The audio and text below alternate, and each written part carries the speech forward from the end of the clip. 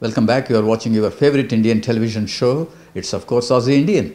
As promised, uh, here is uh, the interview with the ventriloquist, an exceptional talent from India, as I said, Indushree Raveendra.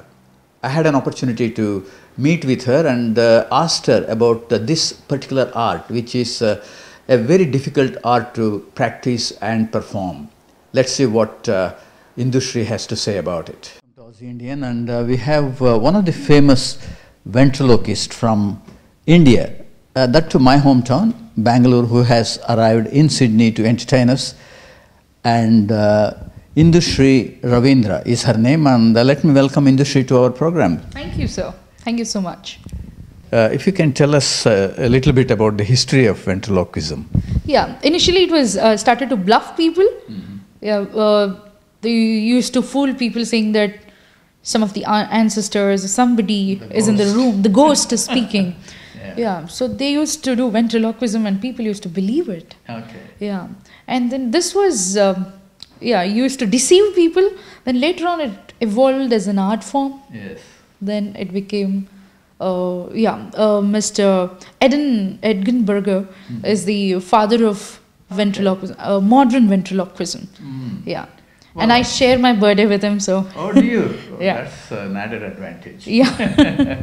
Well, um, we haven't seen a lot of uh, women ventriloquists, especially from India. How it all started for you? yeah, I started as a magician. Um I was in grade two when I started. Uh, one of the uh, magician friends came home and then he just showed me a magic trick. I was so fascinated by the art of magic, I, I just wanted to learn it. Then I asked him, Is this the way you perform? I just kind of figured it out and performed it before him.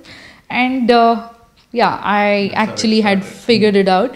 And then uh, he taught me magic, and then later on, uh, it opened doors for me.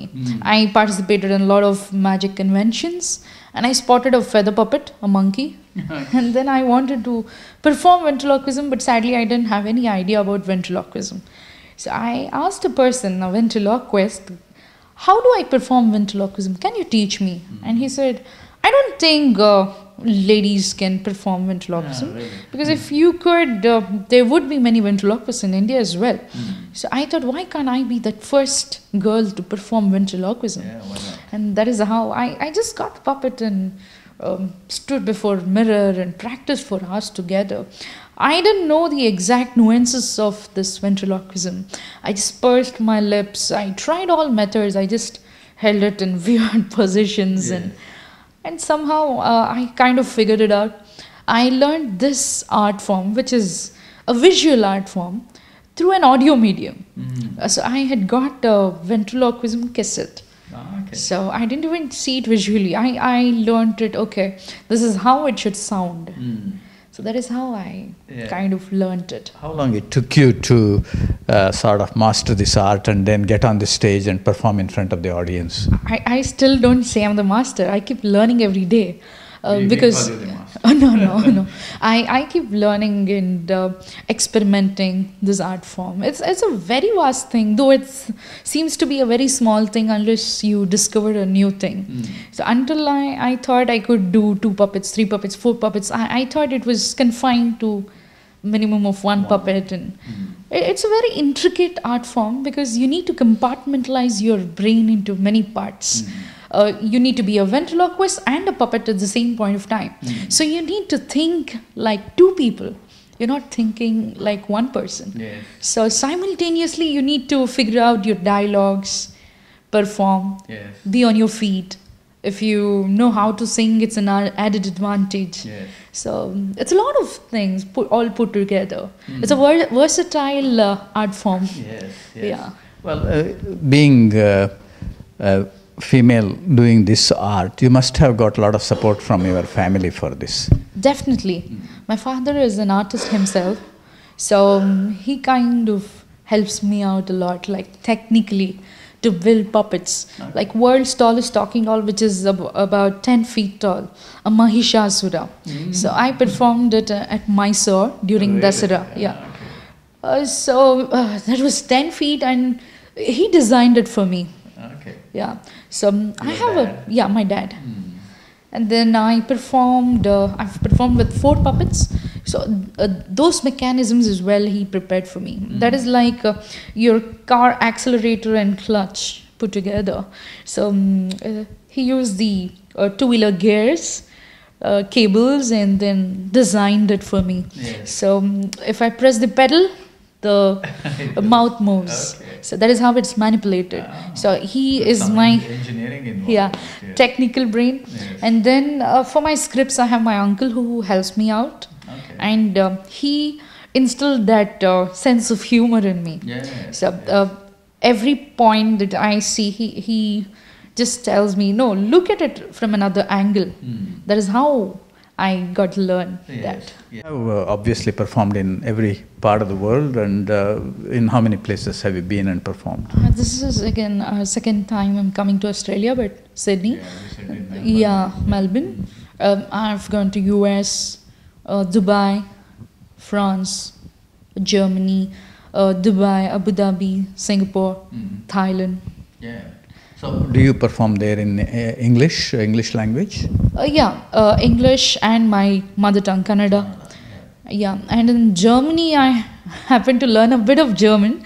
Yeah, because uh, obviously they can't understand uh, mostly English also. So a bit of English and a bit of German. Okay. Yeah, so they were pure Germans, not even Indians. Right, right. So- and uh, the accent and everything is fine. They understand it and Yeah. uh, appreciate it. They did understand. They loved it. Oh, really? Yes. Oh, congratulations. And uh, what do you think of uh, the future of uh, this uh, ventriloquism in amongst women, especially in India? Do you think it's going to catch up? Definitely, it's picking up in India right now. A lot of ventriloquists. Um, this was not at all seen as a profession. I myself had not seen it as a profession uh, because I never knew that I could take this up as a serious profession. I was an artist and then I did my MS Com. And then I, uh, uh, meanwhile, I also performed on a lot of uh, television channels. So that is how I became quite popular, and then people started calling me. So I thought, okay, let me just try this out. What kind of advice would you give some of those who are watching this program who want to practice uh, ventriloquism? Yeah, practice is the key. yeah, so if you want to be a, a ventriloquist, you need to practice. You need to give the time. I what I did was I stood before mirror for hours together, and I just left anything. I, I I never played. I never did anything else except practicing. Yeah, initially it's tough. What people generally do is if something is really tough, they just try to quit. Yeah, so don't do that. Just practice, and it'll fall in place. Yeah, basically you will have to learn a lot of things for this. This is not just ventriloquism. Um, this has acting in it because you need to act. You're acting out the person who is not existing. Mm-hmm. Sometimes what happens is my puppet scolds me, mm-hmm. but I'm doing the both things, double acting. so I'm acting as if that is scolding me, and I'm also acting as I'm feeling bad or something. So I'm reacting, acting and reacting. So you're doing two things which are opposite. So you need to learn that. Yes, It's pretty difficult, but once you catch up with that, I mm-hmm. think it's easy. Yeah, and then you need to uh, modulate your voice. Yes. Yeah, voice modulation is very important for that. Yeah, because a, a puppet doesn't have an expression. Of course. So you need to give all kinds of expressions through voice. So that happens through modulation. Amazing. Would you be happy to demonstrate one of your uh, uh, uh, puppets with us? Okay, let's take it. Hello, Grandpa. Do you mind if I call you Grandpa? No, not at all. But if your wife does, I do. okay. Yeah, but uh, you are looking very young and uh, like uh, yeah. I mean, you're uh, you look as if you are ready to get married. Oh, yeah. I'm always ready for that. Are you? Yeah. Well, you have traveled all over the world and looked uh, for. Uh, have you looked at uh, some of the prospective brides in United States or uh, Dubai or Europe somewhere?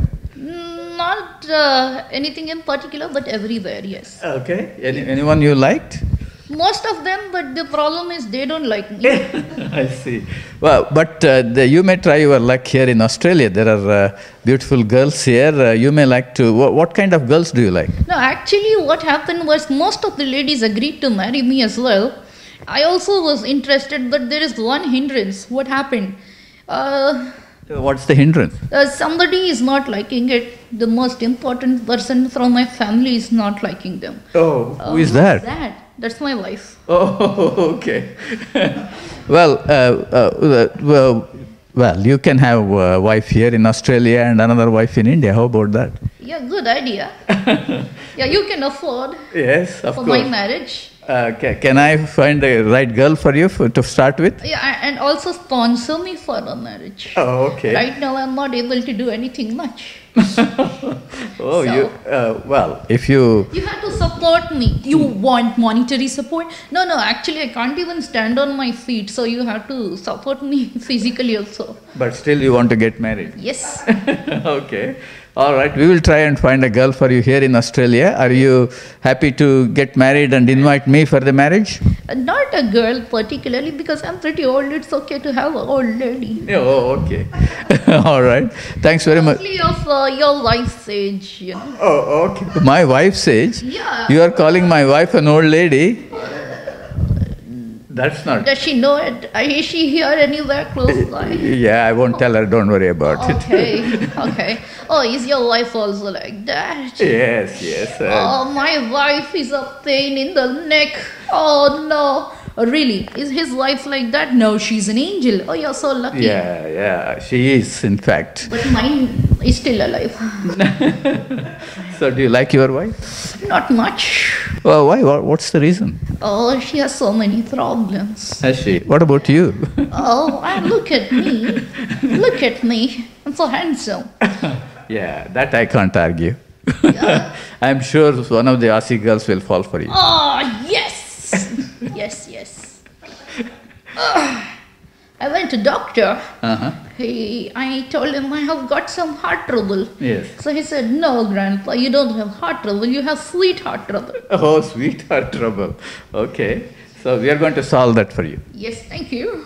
Thanks for talking to us. You're a very nice gentleman. Thank you. Yeah. So this is what is the expression I'm talking about. So uh, look at him. He's very happy. Yeah. Yeah. Yeah. This is a voice kind of Yeah. a modulation. Yes. He's sad now. Mm, yes. and he's angry. Ah. So this kind of expression you have to bring it out. Yes. Yeah. So different kinds of expressions only through action and voice modulation. Yes, yes. Indushree, thanks for talking to OzIndian and have a wonderful stay in Australia. We look forward to your next visit. Thank you so much. Hope you enjoyed that interview with the ventriloquist Indushree and also the demonstration. And you know, that's a lot of fun watching the ventriloquist perform on the stage. And uh, of course, laughter is the best medicine. So bring it on. More of it in future.